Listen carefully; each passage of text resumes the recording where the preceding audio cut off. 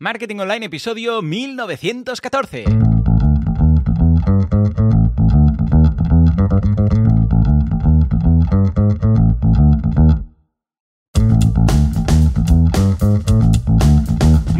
A todo el mundo y bienvenidos a Marketing Online, el programa, el podcast en el que hablamos de todos esos conceptos, técnicas, estrategias y noticias del marketing digital, del marketing de Internet, del marketing 2.0, del inbound marketing, del marketing de redes, del marketing de da igual, llamadle como queráis. Esto es Marketing Online. Hoy episodio 1914 del jueves 9 de septiembre de 2021, programa que vamos a dedicar a todos los equipos en remoto. ¿Por qué? Porque precisamente hoy vamos a ver una herramienta ideal para equipos en remoto, que cada vez hay más. Bueno, de hecho, a raíz de la pandemia los equipos en remoto se han disparado, muchos han regresado a las oficinas, pero otros han venido para quedarse. Bueno, pues hoy vamos a ver una herramienta de colaboración estupenda, especialmente para brainstormings. Pero antes, como siempre, boluda.com, cursos de marketing online, desarrollo web y todo lo que necesitáis para vuestro negocio online. Cada semana un nuevo curso, cada día dos nuevas clases. Ya sabéis que esta semana estamos, de hecho, hoy enfilando ya la recta final del curso de Vimeo. Esta mañana veremos Vimeo Create, muy chulo, así se tiene que decir con mucho acento, Create, Create. Y luego herramientas extra. Echadle un vistazo que está estupendo. Además, ya sabéis que si os suscribís tenéis acceso a las ideas de negocio en boluda.com barra ideas para encontrar socios, proponer ideas, formar parte de un equipo de otra persona que ha propuesto una idea que le hace falta a alguien con un perfil como el vuestro, etcétera. Y luego también en boluda.com barra encargos, que son los encargos remunerados de temas de marketing online. Alguien necesita un copywriter, alguien necesita un community manager, alguien necesita lo que sea, o al revés, que vosotros os queréis ofrecer, pues también lo podéis poner ahí en encargos. ¿m? Echadle un vistazo. Y recordemos que el día 23, dentro de nada, porque estamos ya a día 9, o sea que en un par de semanas, haremos el primer Meet, el primer encuentro virtual que en esta ocasión va a ser de creación de contenido para marca personal, boluda.com barra Meet. Echadle un vistazo. En fin, señores, ahora sí, sin más dilation, nos vamos a hablar de Miro, pedazo de herramienta que nos ha recomendado Juanma. Nos ha dicho, a ver si puedes comentar esta herramienta que está muy chula. Efectivamente, está muy bien. Yo la utilizo en un par de clientes, no para mí, porque yo soy más de las herramientas de Google, pero vale la pena comentarlo porque tiene una versión gratuita, como veremos, bastante generosa. Se trata de pizarras virtuales. Básicamente, a resumidas cuentas, si vais a Miro o Miro, como dicen ellos en sus vídeos, Miro, Miro.com, pero básicamente es como Miro, ¿eh? como la...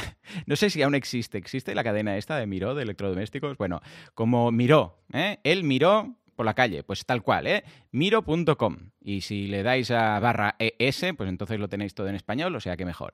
Y básicamente son pizarras virtuales. Es una pizarra, como ellos definen, colaborativa y virtual que acerca a equipos en cualquier momento y en cualquier lugar. Eh, les ha quedado muy bonito y muy poético. Básicamente es una especie de Google Jamboard. Ya hablé aquí de Google Jamboard. De hecho, Google Jamboard me lo descubrió mi hijo muy al principio de haberlo lanzado la gente de Google porque lo utilizaban en Google Meet eh, con Google Classroom que es lo que están utilizando, bueno, lo que empezaron a utilizar cuando la pandemia y todo esto, ¿no?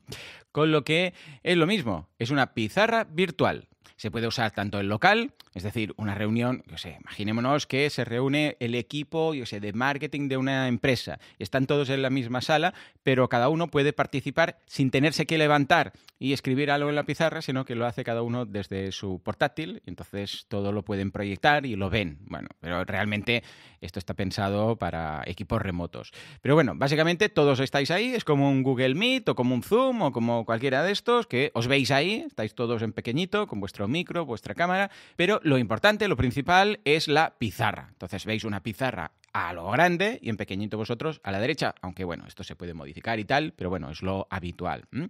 Y tenéis esta pizarra que todos podéis toquetear, básicamente. Es un canvas infinito, esto es muy divertido porque puedes ir haciendo zoom, zoom, zoom hasta que te canses, o puedes alejar, alejar, alejar y vas viendo todo en pequeñito, en pequeñito. Pero bueno, normalmente no usas todo el infinito que te permiten, pero está bien. ¿eh? Si tienes un trackpad o con el mouse, te explican cómo con la ruedecilla o con los dedos puedes seguir haciendo zoom y tal. Y está muy bien. ¿Para qué sirve esto? Bueno, básicamente, imaginación al poder, pero lo, más habitual son reuniones, talleres, eh, tipos de procesos creativos, por ejemplo, diseñando una página web, ¿no? No, espera, esto lo muevo aquí, lo quito. Evidentemente tú puedes dar o quitar acceso a que la gente toquetee, porque igual si das acceso a todas las personas y todos empezáis a toquetear, puede ser una locura. Pero bueno, esto es como dar acceso a través de micro y cámara, que puedes quitar el acceso del micro o de la cámara al grupo de gente, pues esto es lo mismo, das acceso o quitas acceso a la pizarra como tal, ¿no? Pero que todo el mundo pueda participar a la vez, lo vais viendo a tiempo real. Es muy rápido. La verdad es que apenas se nota la latencia, porque claro, si cada uno fuera modificando, yo qué sé, los elementos del menú y el otro también, y hay un poco de lag y tal, claro, es un poco engorroso. ¿Por qué? Porque igual tú estás hablando de algo y las modificaciones que se están haciendo pues están a unos segundos de tu voz. Entonces sería bastante cutre y sería difícil de seguir. Con lo que, en este caso, como no hay latencia, es decir, que es prácticamente en real, pues es muy práctico. También para definir flujos de trabajo, para hacer planificaciones, para hacer diagramas de, estos de, de flujo. Bueno, de hecho, una de las gracias que tiene, a ver, tiene, la herramienta está muy bien y tiene cosas muy chulas, pero tiene muchas templates, o sea, muchas plantillas, de forma que solamente hace falta que rellenéis. Yo sé, decís, pues yo quiero hacer ahí un canvas pues tenéis no sé cuántos canvas, tienes canvas para hartarte, ¿vale? Y entonces puedes empezar con un canvas vacío, sabéis, el modelo canvas, ¿no? Lo de los nueve recuadros y tal. Bueno, pues podéis empezar con uno vacío o directamente uno que ya haya un contenido demo. Entonces dices, yo ya lo modificaré y ves ahí como unos stickers, como unos post-its, para entendernos, o unos posits, depende de si le llamáis post-its o posits, y entonces que el, el, mundo, ya lo sabéis, ¿no? Que se divide entre gente que dice post-it y gente que dice posit, ¿eh? Y ambos son correctos, es simplemente una división arbitraria del mundo. En fin, eh, pues nada, lo podéis ir colocando. Ojo que esta gente es muy potente, ¿eh? tiene clientes como Cisco, Dell, HP, de hecho tiene más de 20 millones de usuarios. Ojo, pero esto no quiere decir que sean todos de pago. ¿eh? 20 millones de usuarios que muchos de ellos, esto ya no lo dicen, usan la versión gratuita, de la cual hablaremos en breve. Bueno, ¿cómo funciona esto? Muy fácil. Nosotros vamos y creamos una pizarra, un board, que le llaman ellos. Está todo traducido al español, o sea que también guay porque no tenemos que ir traduciendo términos y tal, aunque bueno, se entiende muy bien todo. Y nada, empiezas a dibujar cosillas. Tienes ahí una pizarra y tienes pues las herramientas típicas. Tienes un bolígrafo, bueno, un rotulador de estos estilo Veleda. Es como si tuvierais ahí una pizarra de estas blancas, una whiteboard, oh yeah, y empezáis a dibujar. Lo que pasa es que, claro, es una pizarra pero vitaminada. ¿Por qué? Porque podemos ahí meter de todo. O sea, desde seleccionar estas plantillas que dices, yo sé, pues un mapa mental, un Kanban, un lo que sea, pero también podemos añadir archivos, podemos añadir imágenes, podemos poner stickers de estos, ¿sabéis? Los post-its que os digo. De hecho, es muy curioso porque tiene una funcionalidad que es que si tú has hecho un brainstorm en una pizarra física, o sea que tenéis ahí una pizarra con post-its, si le hacéis una foto y la subís, te lo detecta y te crea unos post-its y te lo pasa todo en, en virtual para entendernos. Imaginaros que, no sé, pues en la pared de casa habéis puesto ahí todo de post-its y tal, le hacéis una foto, lo subís y te detecta cada post-it por su cuenta y te los transforma en post-its virtuales. Y lo tienes todo ahí. Que bueno, no sé hasta qué punto tiene mucho sentido hacer ambas cosas y luego pasarlo, pero bueno, que se puede hacer. También podéis subir archivos, vídeos, bueno, de todo. Además, tiene integraciones para parar un tren. O sea, Dropbox, Box, eh, Google Suite, Jira, Slack, Sketch. Bueno, de hecho, nativas son más de 100 pero es que además también se integra con Zapier, con lo que, claro, cuando se integra con Zapier, pues imaginaros, ¿no? Más de 2.000 integraciones, con lo que, en principio, aunque estéis trabajando, por ejemplo, yo realmente esta herramienta tengo que deciros que yo personalmente no la uso. Tengo clientes que sí, porque tiene sentido en su equipo y, y, claro, como consultor tengo que analizar cada cliente y ver si vale la pena o no vale la pena meterse con otra aplicación más cuando hay algunas gratuitas. ¿Por qué digo esto? Porque habitualmente, si tengo algún cliente que va a hacer uso intensivo y que realmente vale la pena usar esta herramienta de Miro, es alguien que va a necesitar la versión de pago, porque tiene cosas bastante chulas, como por ejemplo no estar limitado, como veremos luego cuando comparemos las versiones de pago, pues no estar limitado en número de pizarras, que es uno de los límites de la gratuita.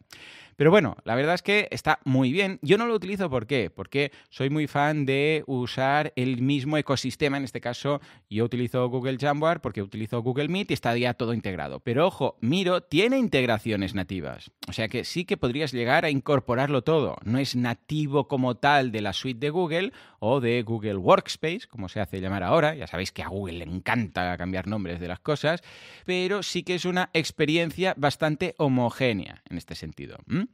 Muy bien, más cosas que tiene. Bueno, tiene aplicaciones también de todo. Tiene aplicación para iOS, tanto para tablet como para iPhone. Tiene aplicación para Android, lo mismo. También tiene aplicación para Mac y para Windows. Ojo, no hace falta usarla. Lo podemos hacer todo desde el navegador. Pero habitualmente, no para las personas que van a asistir a la reunión, sino para el propio organizador, suele ser más cómodo trabajar desde la aplicación. Entonces te descargas la aplicación para Mac, por ejemplo, o para Windows, que es un sistema operativo alternativo para algunas personas, y lo tienes todo, pero sin depender del navegador. ¿eh? O sea que puedes usar la versión web y puedes usar la versión, bueno, como Skype, por ejemplo, ¿no? que tiene la versión web y la versión de aplicación que te descargas y tal. Venga, va, precios. Hablemos del Bill Metal. Bien, la versión gratuita está muy bien porque tiene un límite, tiene casi todo, pero tiene un límite de tres pizarras, ¿vale? Claro, esto lo que te permite, está muy bien pensado. ¿Por qué? Porque lo que te permite es probarlo todo. O sea, tú vas, creas, miras, juegas, invitas a gente, pruebas a ver cómo funciona el tema, das acceso, quitas acceso y a partir de aquí, si vas a darle un uso intensivo, que dices, sí, sí, es que voy a estar haciendo pizarras de estas virtuales cada día y quieres conservarlas, porque esta es otra. Igual dices, mira, ¿sabes qué? Yo cuando acabe la reunión esto lo exporto, que se puede exportar, o le hago una foto, o ya hemos acabado, o yo sé, hago un acta, lo apunto todo y pizarra en blanco y para mañana ya la tengo limpia. La típica pizarra en la clase, yo tenía un profe, Cambrai, que era el de matemáticas y de estadística y todo esto, y hacía unas pizarras que luego, recuerdo que venía mi profesor de historia, que era el que venía a continuación, hacíamos mates y luego historia, Salastí, desde aquí un abrazo, si me estás escuchando, y siempre decía que le hacía mucha pena borrar las pizarras de Cambrai, de David Cambrai, que era el profe que venía antes, porque eran una pequeña obra de arte, porque lo hacía todo tan bonito, eh, realmente tenía una letra súper chula, ¿no? Bueno, pues esto es lo que pasa si tenemos esta versión gratuita, que tenemos que borrar para volver a empezar. Pero en el caso de pillar el Team, tiene el bueno, el feo y el malo, ¿eh? Como veréis, es muy descarado. Tiene los tres precios. Tiene esta gratuita, luego tiene uno que se llama Team, que son 10 euros por usuario al mes. Ojo que aquí ya pica. Claro, imaginémonos que estamos hablando de un equipo de 10 personas. Mm, esto ya son 100 dólares al mes, porque es por usuario. Cierto es que entonces tienes pizarras ilimitadas, pero claro, esto ya pica. Una pequeña empresa que dices, no, si somos 8 o 10, claro, de repente ya pagar 100 o 120 euros mensuales solamente por esto, habiendo versiones gratuitas, como el caso de Google Jamboard, que dices, hey, con esto suficiente ya tenemos, tampoco queremos hacer aquí locuras. Pues claro, va a ser difícil entrar aquí. Y luego tenemos el business, que son 16 dólares, pasamos a 6 dólares más por usuario y mes. O sea que imaginaros, un equipo de 10 personas ya son 160 euros, pero ojo, no al mes, porque la versión business solamente puede ser anual. O sea que son ya 1.600 dólares que zasca, ahí quedan. ¿Cuál es la diferencia con el business? Que tiene algo muy interesante llamado Single Sign-On. Yo soy muy fan de esta tecnología que lo que te permite es vincularlo con tu propia plataforma. O sea, imaginémonos a alguien que tiene un WordPress, por ejemplo, o cualquier otra, ¿eh? da igual, pero que ya tiene sus usuarios logueados. Imaginémonos un membership site, ¿vale? Un membership site que es de comunidad, de directivos. Y dices, no, no, si yo la gente ya la tengo logueada dentro de mi WordPress. Cuando acceden, ¿eh? usuario, password, ¡pum!, tienen acceso a contenido, a vídeos, a lo que sea, y además les quiero dar acceso a esta board. ¿Por qué? Porque vamos a hacer reuniones y no sé qué, no sé cuántos, tal y cual. Bueno, pues con el Signal Sign-On no hace falta que se identifiquen en Miro. O en Miro, Miro. No hace falta. ¿Por qué? Porque ya están identificados dentro del WordPress, en este caso, o de la aplicación que sea, el CMS que sea, y directamente WordPress o la aplicación que sea habla con Miro y le dice, no, este tío está logueado, aquí te paso yo los datos. Y entonces Miro pilla los datos del CMS y la persona no tiene que hacer nada. O sea, simplemente entra y lo ve, ya está. No tiene que volver a loguearse como usuario de Miro, sino que una aplicación ya habla con la otra.